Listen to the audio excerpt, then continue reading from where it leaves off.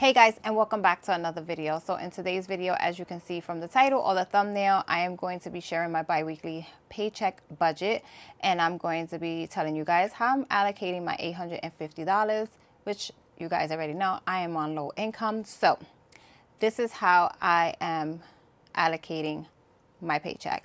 So rent is going to get 340 so I'm looking down because I wrote in my planner I'm trying to make these videos way better, but I'm trying to figure out ways on how to do this room and it's not working out the way I want to, but it's going to come soon.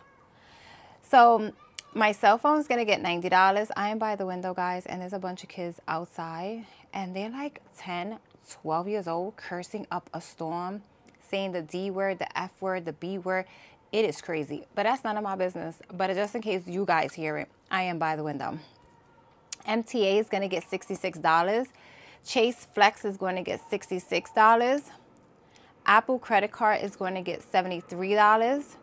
And this time, actually guys, I forgot to I forgot to allocate money towards my Apple credit card in my last paycheck.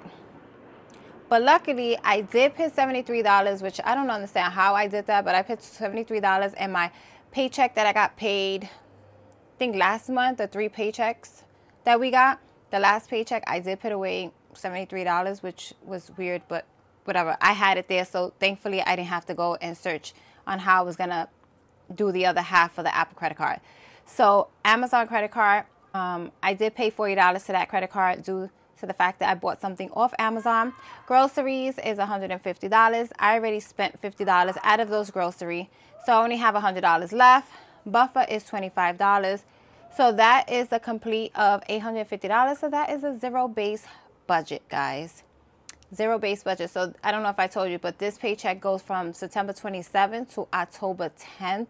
And this has to last me. And it's crazy because I just found out that I think we're going, people are going on a strike, which shelves are being empty. The water shelf is being empty. And I'm like, did I miss something? That's because I don't watch the news, guys. I don't watch the news. But let me share with you guys um, this binder here. And let me show you. I still have the $50 here for buffer. But for these $50, I'm going to be paying $40 towards Chase. Because with everything that's going on, guys, out here in this world, um, I got to get that Chase out the way because I need to boost up my grocery um, amount because things are going to get crazy out here. So $40 to Chase. And then $5 is going to go towards clothing, which I'm going to just show you guys right here. And then the other $5 is going to go towards enjoy life because we got to enjoy our life while we are paying off debt. I don't know what I'm going to do with this money. This money probably just sit here, to be honest with you.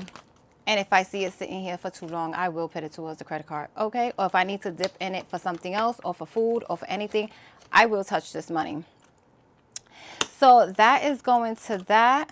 Um, I actually have money in my envelope, which I'm surprised. Look, 10, 11, 12, 13, 14. I got $14, guys. So if you guys have Fetch, or if you guys don't have Fetch, my link will be in the description below.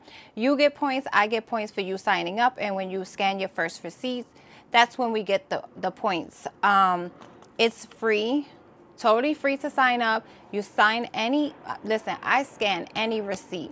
I see a receipt, I'm scanning. I be in Dunkin' Donuts and they be having like the receipts on the table. I, I scan that receipt. So right now I'm at 86,000 and I'm going to be using 80,000 out of that, which is $80 because I want to buy me some clothes and I'm going to buy it online. So I'm going to redeem it for a Visa gift, gift card. So yeah, guys, so that is where my $850 is going. And like I said, I am just a tad bit nervous because my emergency fund is not even up there. And for what I heard today, which I'm going to do more, I'm to read on it more so I could, you know, know more about it, about this strike that we're about to have or we are having or whatever is whatever's going on. Um, I kind of want to probably rearrange some things or I don't know.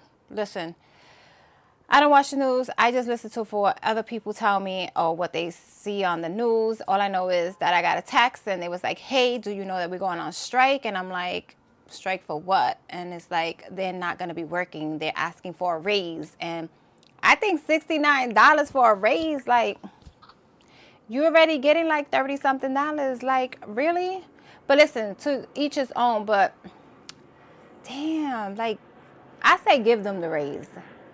But that means everything is going to go up. Food is going to go up. Everything's going to go up. So I don't really know how I feel about that. So if you guys know anything about that, please leave it in the let's talk about it in the comments because I got to go read because I need to find out what's going to happen. But with that being said, guys, that's how I am allocating my paycheck. It's not much because I have to pay this these two credit cards off in the student loans. So, and I know you guys are probably like, there she go again with the student loans and the credit cards, but that's my life right now. So I hope you guys enjoy, this video. If you guys got to the end, leave me a dollar sign down below. Don't mind me, guys. I'm tired. I just came home from work, and I got, I don't know what happened here, but until next time, guys, I see you in my next video.